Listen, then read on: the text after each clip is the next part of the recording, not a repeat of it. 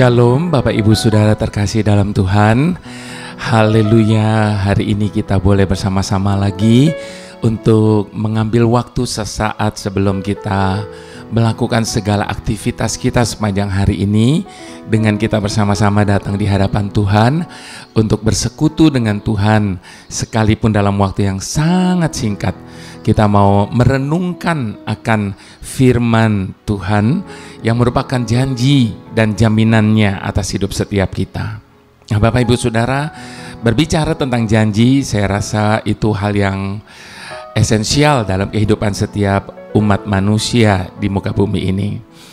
Ada banyak macam janji yang disampaikan ketika orang hmm, apa eh, menjalani kehidupan terlebih lagi kehidupan uh, baru dalam arti ketika mereka uh, menikah maka akan ada janji pernikahan yang mereka sepakati untuk mereka jalani selama perjalanan kehidupan yang baru bersama dengan pasangannya.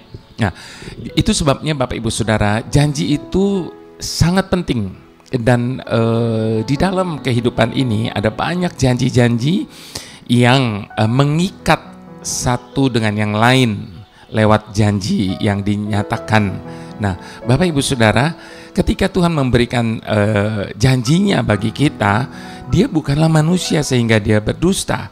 Karena ada banyak orang ketika mereka misalnya uh, menempuh kehidupan yang baru, ketika mereka memasuki uh, kehidupan bersama, mereka memberikan janji untuk setia dan sebagainya sebagainya, tapi pada kenyataannya banyak kita jumpai meskipun tentunya tidak semua uh, di dalam perjalanan kehidupan mereka bersama, mereka mengingkari janji yang mereka ucapkan padahal janji itu diucapkan di altar uh, gereja atau di hadapan Tuhan dan di hadapan jemaat Tuhan manusia selalu berubah. Ketika mereka memberikan janji, dengan mudahnya mereka mengingkari janji mereka. Tetapi ketika Tuhan memberikan janjinya kepada setiap kita, dia bukanlah manusia sehingga dia berdusta. Dia bukanlah manusia sehingga dia mengingkari apa yang dia janjikan bagi setiap kita. Nah, itu sebabnya ada kekuatan di balik janji yang diucapkan. Nah, hmm, tema kali ini saya beri judul kekuatan sebuah janji. Nah, sebelum saya berbicara lebih lanjut mengenai kekuatan sebuah janji ini, saya mau ajak kita sama-sama tentunya memohon tuntunan Tuhan. Kita bersama-sama mau berdoa. Mari kita satukan hati berdoa. Bapa kami hidup hari ini bukan karena apa yang ada di hadapan kami, apa yang tengah terjadi di sekitar kami tetapi kami hidup hanya oleh karena apa yang engkau janjikan bagi kami. Janji-janjimu yang berisikan begitu banyak jaminan atas hidup kami. Sehingga ketika kami percaya kepadamu, tidak ada alasan bagi kami untuk kami hidup di dalam ketakutan dan kekhawatiran tentang hidup kami ini karena ada terlalu banyak janji dan jaminan yang engkau janjikan bagi setiap kami. Dan kami tahu satu hal, ketika engkau berjanji, engkau pasti akan menepati apa yang engkau janjikan. Kecuali itu karena kebebalan kami, itu karena ketidaksetiaan kami, sehingga ada banyak janji-janjimu yang tidak terjadi dalam hidup kami. Itu sebabnya Tuhan ambil alih seluruh rencana kami, ambil alih seluruh keinginan kami sehingga tidak ada satupun dari hal itu yang membatalkan janjimu, yang mengurangi janjimu terjadi dalam hidup setiap kami. Kami mau hidup sepenuhnya sesuai dengan apa yang kau kehendaki Tuhan. Terima kasih Bapa dalam nama Tuhan Yesus, biarlah engkau menuntun kami dalam renungan saat ini. Amin. Nah, Bapak Ibu Saudara, mari kita buka firman Tuhan dalam Ibrani ke-13. Ibrani 13 ayat yang pertama sampai ayat yang ke-8 kita mau sama-sama baca. Judul dari perikop ini nasihat dan doa selamat peliharalah kasih persaudaraan. Jangan kamu lupa memberi tumpangan kepada orang, Sebab dengan berbuat demikian, beberapa orang dengan tidak diketahuinya telah menjamu malaikat-malaikat. Ingatlah akan orang-orang hukuman, karena kamu sendiri juga adalah orang-orang hukuman. Dan ingatlah akan orang-orang yang diperlakukan sewenang-wenang, karena kamu sendiri juga masih hidup di dunia ini. Hendaklah kamu semua penuh hormat terhadap perkawinan dan janganlah kamu mencemarkan tempat tidur sebab orang-orang sundal dan pejina akan dihakimi Allah. Janganlah kamu menjadi hamba uang dan cukupkanlah dirimu dengan apa yang ada padamu karena Allah telah berfirman, aku sekali-kali tidak akan membiarkan engkau dan aku sekali-sekali tidak akan meninggalkan engkau. Sebab itu dengan yakin kita dapat berkata, Tuhan adalah penolongku. Aku tidak akan takut apakah yang dapat dilakukan manusia terhadap aku. Ingatlah akan pemimpin-pemimpin kamu yang telah menyampaikan firman Allah kepadamu. Perhatikanlah akhir hidup mereka dan contohlah iman mereka. Yesus Kristus tetap sama, baik kemarin maupun hari ini, dan sampai selama-lamanya. Saya mau ulang ayat yang kelima tadi, Bapak Ibu Saudara dikatakan, karena Allah berfirman, aku sekali-kali tidak akan membiarkan engkau dan aku sekali-kali tidak akan meninggalkan engkau. Bapak Ibu Saudara, ini adalah janji, bukan sekedar janji tapi juga merupakan sebuah jaminan Tuhan atas hidup setiap kita bahwa tidak akan pernah sekali-sekali dia meninggalkan kita. Dan Bapak Ibu Saudara berbicara tentang janji sekali lagi ada banyak orang terpaksa harus membuat surat perjanjian. Kenapa ada surat perjanjian? Karena mereka merasa bahwa kemungkinan bahwa eh, apa yang dijanjikan itu tidak eh, terjadi atau diingkari. Makanya orang selalu membuat surat perjanjian dan sebuah surat perjanjian sama sekali tidak akan ada kekuatannya jika tidak disertai oleh satu hal ini. Apa itu? Tanda tangan. Untuk itulah yang namanya mengurus surat menyurat kadang terasa begitu rumit. Apalagi bila birokrasinya berbelit Apalagi kalau harus ngantri Bapak Ibu Saudara. Kalau kita pergi ke kantor-kantor instansi atau bank dan sebagainya. Padahal yang dibutuhkan hanya goresan kecil tanda tangan. Atau mungkin cap jempol atau cap stempel barangkali atau apa pun itulah. Meskipun demikian, Bapak Ibu Saudara, tanda tangan atau cap itulah yang menjadi sumber kekuatan surat itu.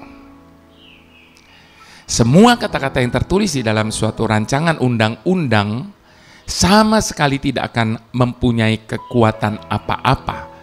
Tetapi begitu presiden menandatanganinya, maka undang-undang itu bisa mempengaruhi kehidupan ratusan juta orang di negara tersebut. Demikian juga halnya dalam sebuah surat perjanjian jual beli mobil atau rumah misalnya. Seberapa besar pun uang yang dimiliki si pembeli itu, maka semua itu tidak akan ada artinya jika tanpa disertai surat dengan tanda tangan si penjual sebagai pernyataan setuju melakukan transaksi. Nah, Bapak Ibu Saudara yang dikasihi Tuhan, sekarang mari kita membayangkan jika surat kesepakatan pembelian mobil atau rumah yang sudah ditandatangani pemiliknya telah berada di tangan kita. Mungkinkah kita masih ragu-ragu untuk sekedar mengelus-ngelus mobil tersebut atau memasuki rumah tersebut? Atau mungkinkah kita masih akan khawatir bagaimana jika istri si pemilik mobil atau rumah itu tiba-tiba mengklaim bahwa itu adalah miliknya? Tentunya tidak, bukan. Nah, hal yang sama mestinya juga kita lakukan dalam kehidupan kita sebagai orang yang percaya. Dalam Alkitab, kita menemukan ada begitu banyak janji Tuhan bagi setiap kita orang percaya. Bimbingan, perlindungan, masa depan, dan berkat-berkatnya adalah beberapa dari sekian banyak janji-janji Tuhan bagi setiap orang yang mau mempercayainya. Semua janji itu telah diteguhkan melalui firman-Nya, Bapak Ibu Saudara. Karena kita semua percaya bahwa firman Tuhan itu selalu ya dan amin.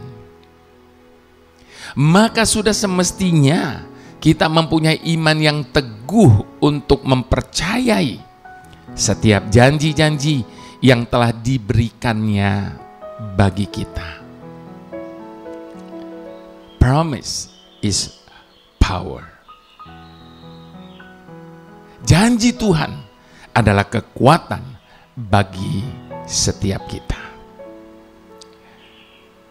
Jika kita sudah tahu akan janji Tuhan bagi hidup kita, maka tidak ada alasan sama sekali bagi kita untuk takut dan ragu dalam melangkah menurut jalan yang ditunjukkannya.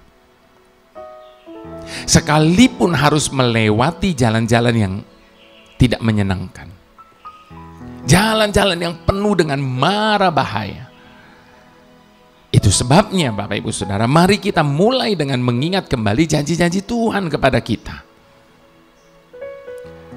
Apa pun yang akan terjadi di depan kita nantinya,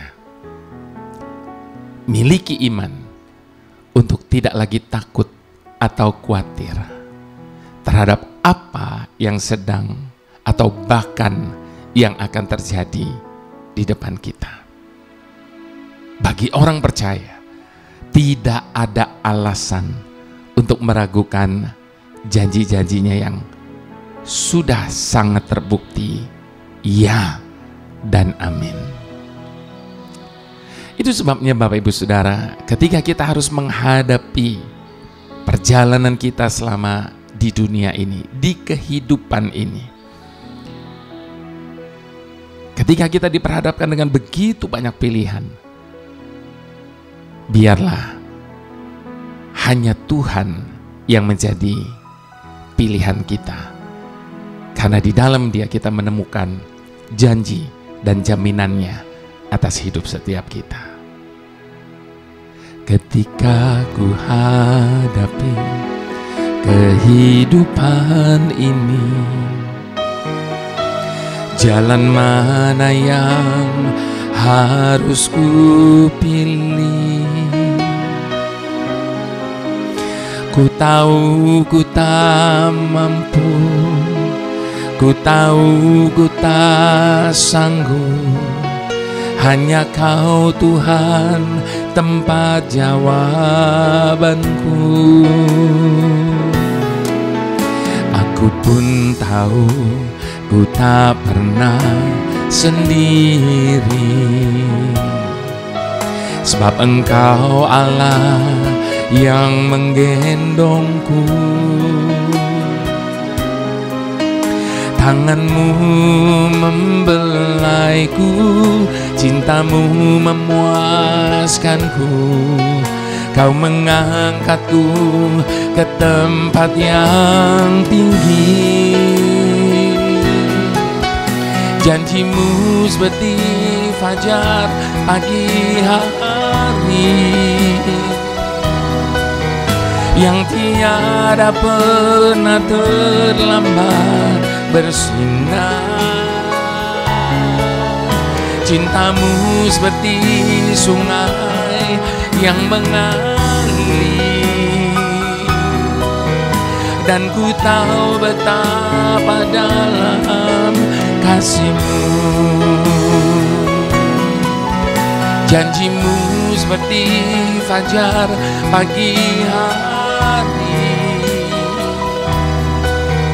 Yang tiada pernah terlambat bersinar. Cintamu seperti sungai yang mengalir. Dan ku tahu betapa dalam kasihmu Bapak Ibu Saudara saya yakin semua kita setuju janji jaminan Tuhan kasih Tuhan atas hidup kita tidak pernah terukur sedemikian panjang lebar tinggi dan dalamnya kasih Tuhan atas hidup setiap kita dan dia berjanji dia akan terus menggendong kita sampai putih rambut kita. Dia tidak pernah berubah setia. Itu sebabnya atas dasar alasan apa kita masih meragukan akan janji dan kesetiaan Tuhan atas hidup kita. Atas dasar dan alasan apa kita masih hidup di dalam ketakutan dan kekhawatiran tentang kehidupan ini. Kalau ada Tuhan yang selalu menjamin kehidupan kita di masa-masa ini dan di masa-masa yang akan datang. Itu sebabnya mari sekali lagi sama-sama dengan iman kita mau katakan. Ketika ku hadapi kehidupan ini Jalan mana yang harus ku pilih?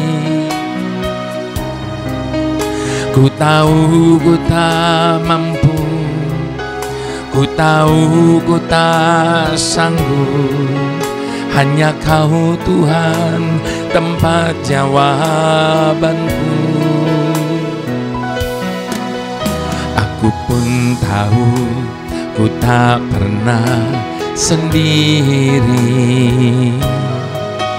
Sebab engkau Allah yang menggendongku. Tanganmu membelaiku Cintamu memuaskanku. Kau mengangkatku ke tempat yang tinggi. Janjimu seperti fajar pagi hari. Yang tiada pernah terlambat bersinar Cintamu seperti sungai yang mengalir. Dan ku tahu betapa dalam kasihmu janjimu Tuhan.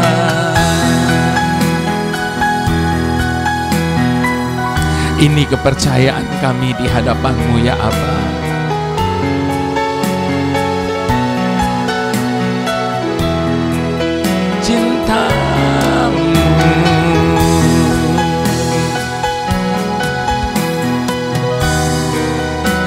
Sama-sama katakan. Dan ku tahu betapa dalam kasihmu. Dan ku tahu betapa dalam kasihmu. Dan ku tahu betapa dalam kasihmu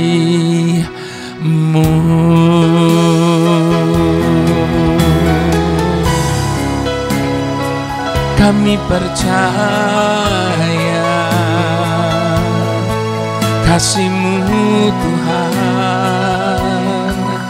tak pernah berubah.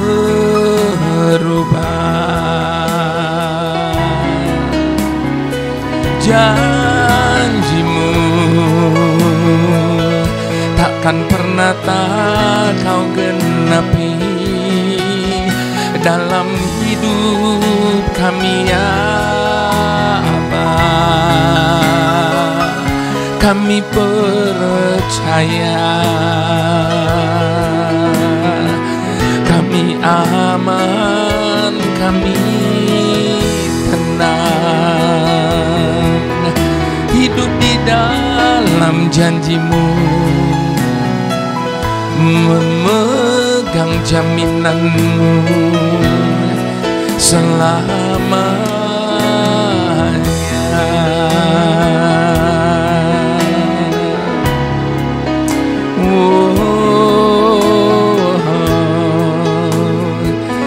hidup kami terjamin dalam janjimu.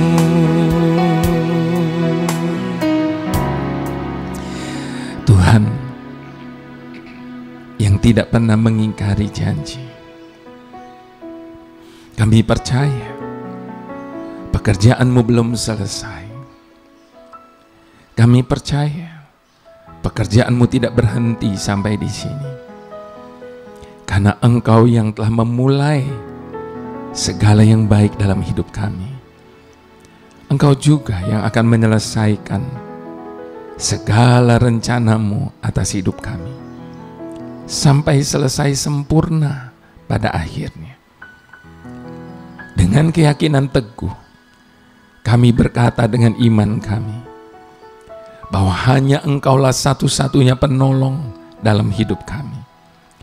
Hanya engkaulah satu-satunya perancang yang sempurna bagi jalan hidup kami. Kami tidak akan takut terhadap apa pun, karena kami tahu yang menyertai kami lebih besar dari apa pun dan siapa pun. Tidak ada yang dapat menandingi, jangankan menandingi, disejajarkan saja tidak ada satupun yang bisa. Kami yakin seyakin-yakinnya, seumur hidup kami, kami akan menyaksikan kebaikanmu bekerja dalam hidup kami. Kami akan menyaksikan bagaimana janji dan jaminanmu tergenapi atas hidup setiap kami. Sebab ketika kami percaya, kami memiliki keyakinan yang kami butuhkan. Itu sebabnya kami juga berjanji, kami akan selalu berdiri teguh dalam iman kami kepadamu. Kami tidak akan takut ataupun tawar hati. Bahkan di saat ketakutan datang menyergap, kami mengarahkan mata kami kepadamu. Kami akan taat dan setia menjalani kehidupan yang sudah Engkau tentukan bagi setiap kami. Kami percaya Tuhan. Mari semua kita yang percaya, sama-sama kita mau katakan, amin.